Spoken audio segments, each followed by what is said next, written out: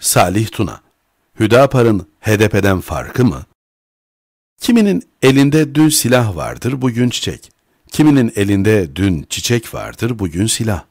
Nasıl ki dünün silahı günün çiçeğini iptal etmez, dünün çiçeği de günün silahını mazur göstermez. Dahası bugün elinde çiçek tutanı sırf dün silah tuttuğu için mahkum etmek, çiçek tutmayı teşvik etmez. Tam aksine dünün üzerinden çiçek tutmanın bedelini ödetir.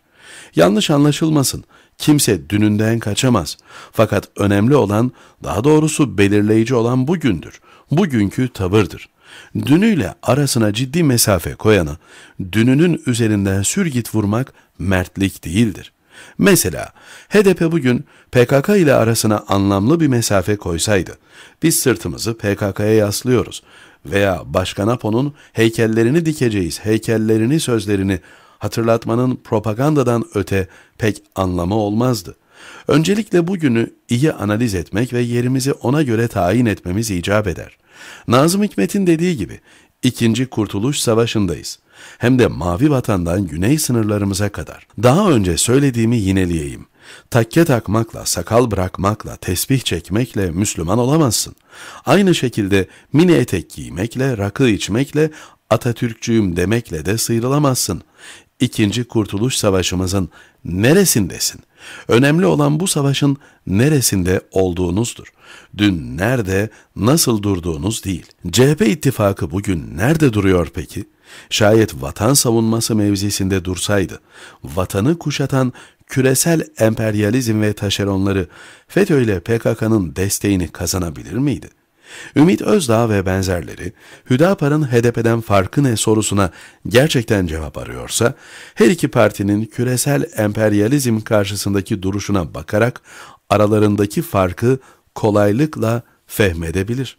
Her şeyden evvel Hüdapar, küresel emperyalizmin desteklediği, kara ordumuz dediği ve binlerce tır silahla teçhiz ettiği PKK'ya yaslanmıyor.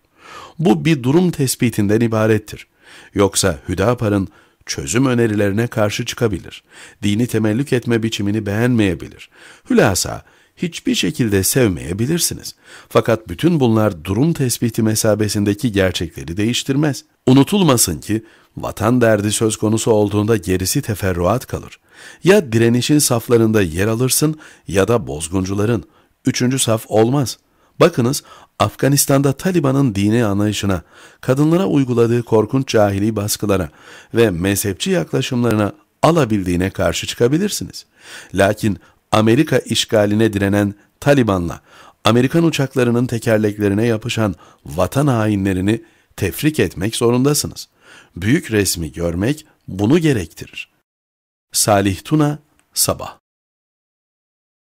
Salih Tuna Hüdapar ne değildir?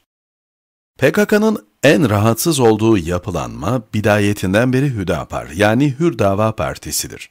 Bu da gayet doğaldır. Hüdapar nihayetinde bölgedeki Kürt sosyolojisinden neşet eden bir partidir.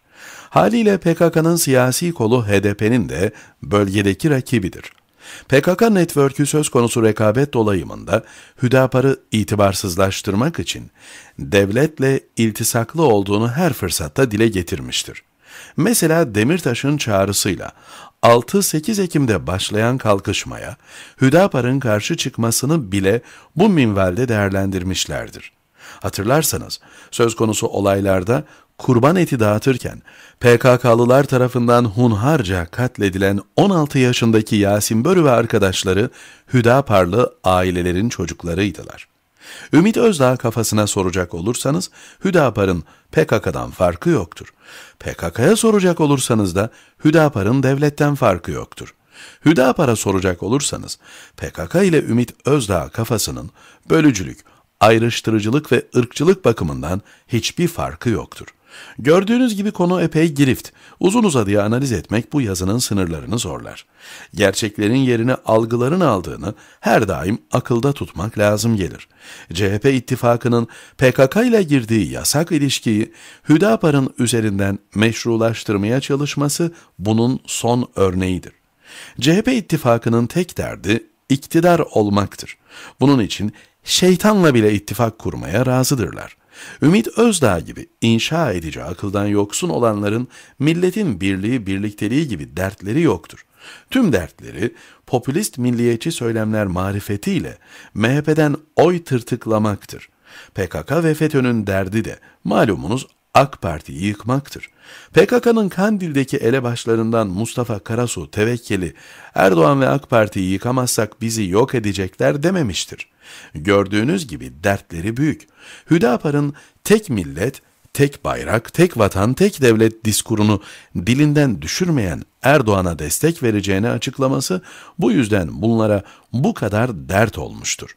Madem öyle, şuncağızı da hatırlatayım da dertleri tamama ersin. Hüdapar her şeyden evvel Amerika'nın binlerce tır silah verdiği örgütün siyasi kolu değildir. Tam aksine Amerikan emperyalizmine alabildiğine karşıdırlar. Zaten Amerikancı olsalardı CHP ittifakına destek verir, Bay Kemal'i duble mücahit yaparlardı. Salih Tuna, Sabah Mehmet Acet Gönlü kırık İyi Partililer Kılıçdaroğlu'nu ne kadar benimsedi? Bir arkadaşımın arkadaşı CHP Genel Başkanı Kemal Kılıçdaroğlu'nun adaylığının ilan edildiği 6 Mart tarihi ve sonrasına dönük enteresan bir çalışma yapmış.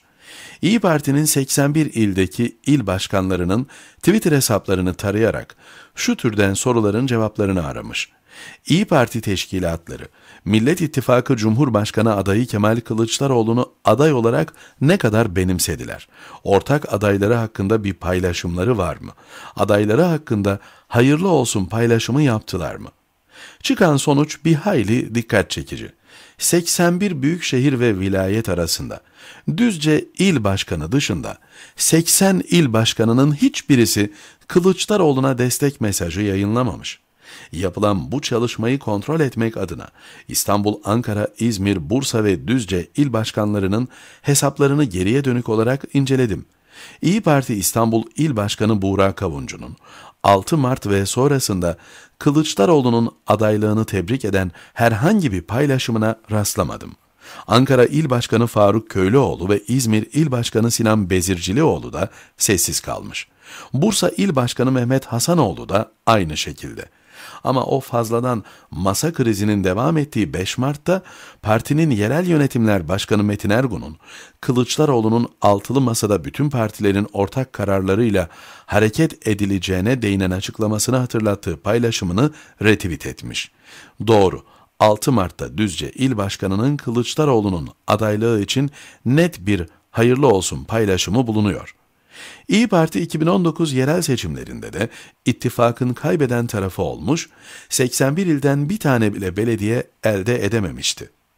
İyi Parti'nin 80 il başkanının Kılıçdaroğlu'nun adaylığı karşısında muhtemelen birbirlerinden habersiz şekilde böyle bir refleksizlik göstermesi son derece dikkat çekici.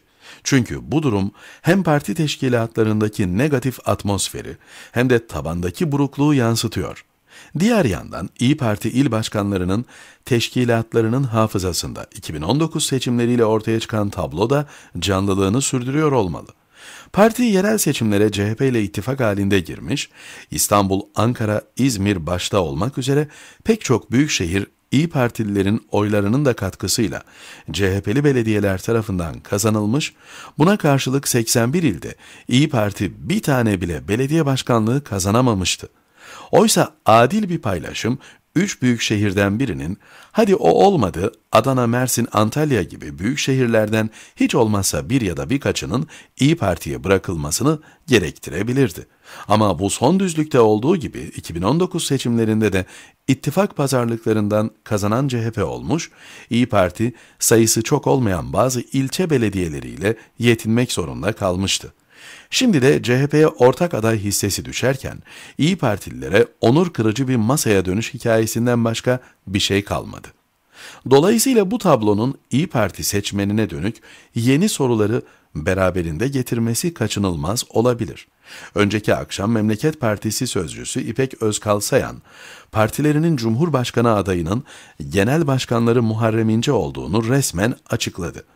Gerçi İnce'nin süreç içerisinde duruma bakarak adaylıktan çekilebileceğine dair bir açıklaması da var ancak şu anda böyle bir irade gösterildiğine göre kendisine aday gözüyle bakmanın bir sakıncası bulunmuyor. Şu bir gerçek, siyasi söylem olarak Akşener'in İyi Partisi, Kılıçdaroğlu'nun yeni CHP'sine göre İnce'nin Memleket Partisi'ne daha yakın bir yerde duruyor. Atatürkçü, ulusalcı, seküler milliyetçi kesime hitap eden bir söylem bu. İki partinin sığınmacı karşıtlığı gibi başka bazı konularda da birbirlerine çok benzeyen siyasi tutumları bulunuyor. Soru şu, 3-6 Mart arasında yaşanan Akşener ve İyi Parti açısından onur kırıcı pek çok yönü de bulunan gerilimin yol açtığı burukluk, İyi Parti seçmeninin bir bölümünü Kılıçdaroğlu yerine başka türlü bir yönelime sokabilir mi? 2018'de seçmenin önemli bir kesiminin doğal refleksini yansıtan iddialı adaya yönelme arzusu Akşener'in aleyhine, İnce'nin lehine işlemişti. HDP'den İyi Parti'den hatırı sayılır miktarda oy Erdoğan'ın karşısında daha iddialı bir aday olarak temayüz ettiği için İnce'ye yönelmişti. Şimdi bu seçimde İnce'nin aday olması halinde muhalefet çevrelerinde olup da oyunun iddialı adaya gitmesini isteyecek olan seçmenin Kılıçdaroğlu'na yönelmesi beklenebilecek bir senaryo. Dolayısıyla İyi Parti seçmeninin çoğunluğunun da ittifak sadakati içinde hareket etmesi beklenebilir. Ancak hatırı sayılır miktarda İyi Partilinin başka türlü davranabileceğine dair işaretler de var. İnce çekilse bile bu yaşananlar nedeniyle Kılıçdaroğlu'na tepki olarak ya da daha fazla güven telkin ettiği için Erdoğan'a yönelebilecek her İyi Parti oyunun Kılıçdaroğlu'nu %50 hedefinden uzaklaştıracağı da bir başka gerçek. Seçim sürecinde yakından izlemeyi hak eden bir alan burası. Mehmet Acet, Haber7.com